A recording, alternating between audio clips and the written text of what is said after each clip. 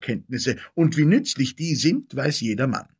Der eine wusste das ganze lateinische Wörterbuch und nebenbei auch drei Jahrgänge vom Tageblatte des Städtchens auswendig, und zwar so, dass er alles von vorne und hinten je nach Belieben hersagen konnte. Der andere hatte sich in die Innungsgesetze hineingearbeitet und wusste auswendig, was jeder Innungsvorstand wissen muss, weshalb er auch meinte, er könne bei Staatsangelegenheiten mitreden und seinen Senf dazu geben.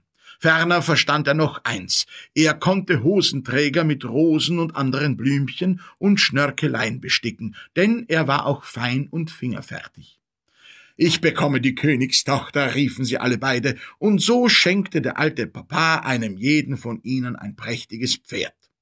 Derjenige, welcher das Wörterbuch und das Tageblatt auswendig wusste, bekam einen Rappen. Der Innungskluge erhielt ein milchweißes Pferd, und dann schmierten sie sich die Mundwinkel mit Fischtran ein, damit sie recht geschmeidig würden.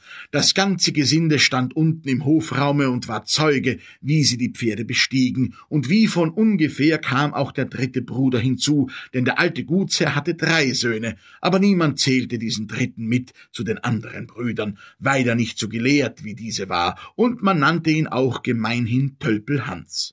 Ei, sagte Tölpelhans. Wo wollt ihr hin? Ihr habt euch ja in den Sonntagsstaat geworfen. Zum Hofe des Königs uns die Königstochter zu erschwatzen. Weißt du denn nicht, was dem ganzen Lande bekannt gemacht ist? Und nun erzählten sie ihm den Zusammenhang. Eider tausend, da bin ich auch dabei, rief Tölpelhans, und die Brüder lachten ihn aus und ritten davon. Väterchen, schrie Tölpelhans, ich muss auch ein Pferd haben. Was ich für eine Lust zum Heiraten kriege. Nimmt sie mich, so nimmt sie mich, und nimmt sie mich nicht, so nehm ich sie. Kriegen tu ich sie. Lass das Gewäsch, sagte der Alte.